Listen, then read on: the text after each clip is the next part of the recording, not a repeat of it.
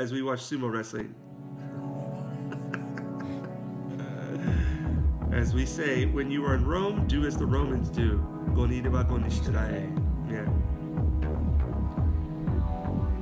Oh, okay, okay. Security concerns. Security.